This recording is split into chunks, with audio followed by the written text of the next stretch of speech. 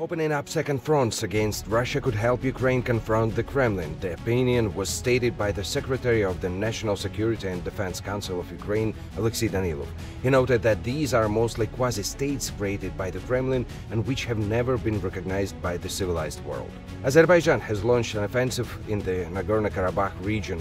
This happened after Russia openly invaded the territory of Ukraine and withdrew its so-called peacekeeping forces from the disputed territory between Armenia Armenia and Azerbaijan.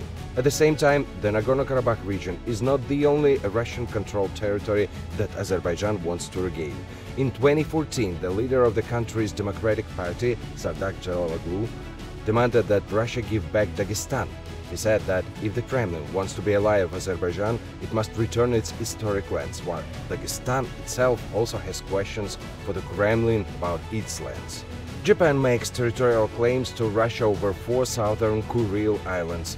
These territories were annexed by the Soviet Union after the end of World War II, and no peace treaty was concluded between the USSR and Japan. After the collapse of the Soviet Union, the islands became part of Russia, and formally, the Kremlin is still at war with Japan. For years, it was a matter of jokes for Russia. Now it's not. The issue of peace has been raised more than once in recent years. After Russia open invasion of Ukraine, Japan reiterated its right to the island.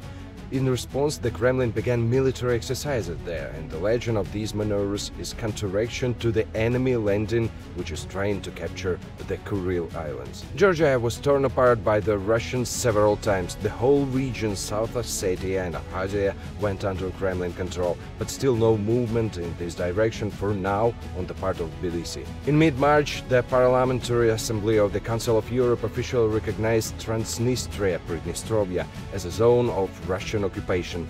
De jure, it is the territory of Moldova. De facto, so-called Transnistrian Moldavian Republic is a self-proclaimed state created as the result of the Kremlin-provoked conflict.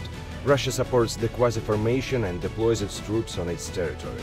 After recognizing the region as a zone of Russian occupation, Moldovan President Maia Sandu said that official Chisinau had always demanded the withdrawal of Russian troops and is ready for a diplomatic solution to the conflict. Latvia and Estonia claim part of Russia Pskov region. These are Pytaliv and Pechora districts. These territories were occupied by the Soviet Union. However, after its collapse, they never returned to the Baltic states. Moreover, one part of the Pskov region is claimed by the allied Kremlin, Belarus. Its self-proclaimed President Lukashenko said in October 2014 that Putin should work hard because part of the Pskov, Smolensk and Bryansk lands once belonged to Belarus. Lithuania declared its rights to what is now Russian Kaliningrad back in 1995 during a roundtable in Vilnius. It is in the Kaliningrad region that the part of the Baltic Fleet of the Federation is based.